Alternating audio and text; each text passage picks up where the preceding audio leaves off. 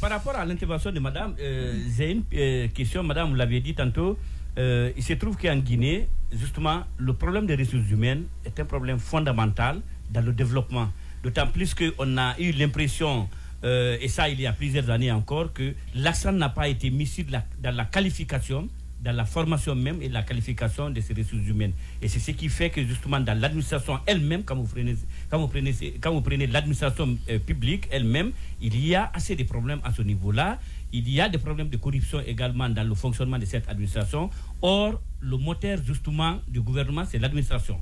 Alors, est-ce que votre, la, collaboration, je veux dire, le partenariat entre votre cabinet ou structure ou même euh, entre la Tunisie et la Guinée, est-ce que ça s'oriente dans euh, si vous voulez, la qualification, le rehaussement des niveaux des agents publics même de l'État, je vais parler. Bien sûr. Déjà, au niveau de cette session, c'est, je pense, parmi les rares formations certifiantes qui sont délivrées ici euh, en Guinée, parce que la, formation qu'on a fait cette fois-ci et l'autre fois, c'est des formations certifiantes de Londres. C'est-à-dire que les participants qui ont assisté pendant les trois journées de formation, hier, ils ont passé un examen en ligne. Et ils doivent avoir 70% de score pour pouvoir être certifiés. Et ça, c'est le monde anglophone de reconnaissance de ce qu'on appelle d'un certain niveau de connaissance. Mhm. Ce qui fait que, euh, donc, avec ce type de formation, on pourra vraiment remonter les compétences. Ce qui m'a vraiment motivé cette fois-ci, c'est quand même, on a eu des participants des entreprises publiques.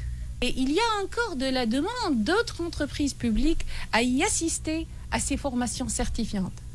Parce qu'il y a déjà une différence entre faire des formations et ensuite faire des examens pour avoir des certificats mmh. ou juste suivre un cursus de formation pour avoir juste des informations ou des outils et partir. Donc il y a une différence entre les deux. Et ce qu'on veut faire à travers ces formations certifiantes, c'est d'instaurer cette nouvelle culture de vraiment faire des formations avec une évaluation.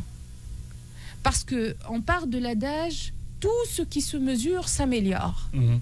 Tout ce qui ne se mesure pas ne s'améliore pas. Et pour vraiment remonter les compétences, il faut qu'on soit dans la capacité de mettre en place dans nos systèmes des outils, des dispositifs d'évaluation.